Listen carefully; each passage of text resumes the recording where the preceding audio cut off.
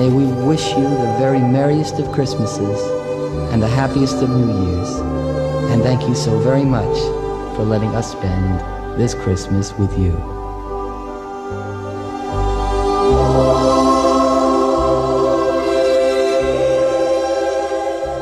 Gotta love some Christmas music, right? That voice you heard, Phil Spector, and his version of Silent Night from maybe my favorite Christmas album of all time, Phil Spector's A Christmas Gift to You. That record was first released on November 22nd, 1962. Coincidentally, that was the same day JFK was shot in Dallas, Texas. One reason why that record was not a success until much later on in Phil Spector's career.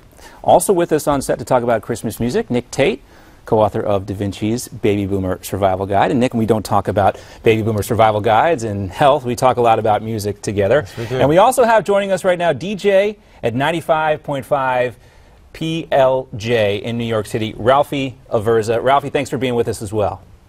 My pleasure. All right, we all love Christmas music. Even Phil Spector, who was the son of Jewish immigrants, loved Christmas music as well, and it does sell very well. One of my favorite songs on the record, including the Ronettes singing I Saw Mommy Kissing Santa Claus, is the classic, the only original song on that Phil Spector album, Darlene Love's Christmas, Baby Please Come Home. Let's take a listen.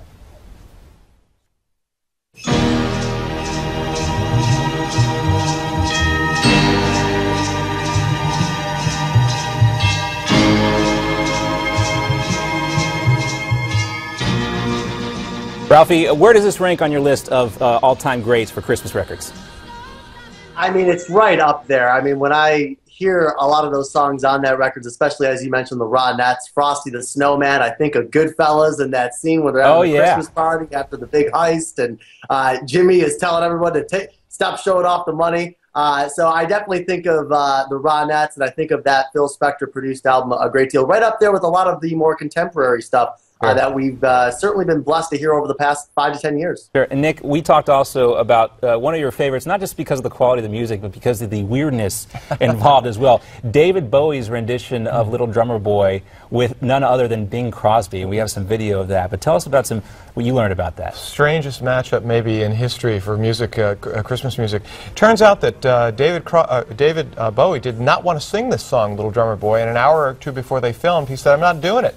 So the writers had to come up with the second piece, which was "Peace on Earth," that complements Bing Crosby's croon of "Little Drummer Boy," and it's just it's it's weirdness and magical all at once. Ralphie, another common theme of these Christmas songs is you may not like the music. I mean, my parents, even though they were from New York and Pennsylvania, they always played Alabama's Christmas album. So I, I love the album, even though I'm not a, a huge fan of Alabama. But uh, it's about memories with Christmas albums. Is that correct? Oh, absolutely, 110%. Whether you remember hearing these songs as you're shopping, or of course your family constantly played them this time of year. Uh, I think, and that goes certainly with, with any music, any songs, but especially uh, this particular genre of music because we associate these Christmas songs with gathering with family and friends this time of year.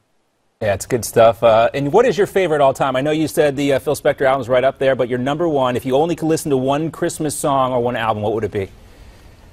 Uh, probably, I, I got to go with Paul McCartney. Paul, Paul McCartney, without question. His, uh, his big Christmas hit. I think I'd have to go with that one. All right, there's a lot of great ones out there. To each his own this Christmas season. season. Nick Tate, Ralphie Aversa, thanks so much for being with us.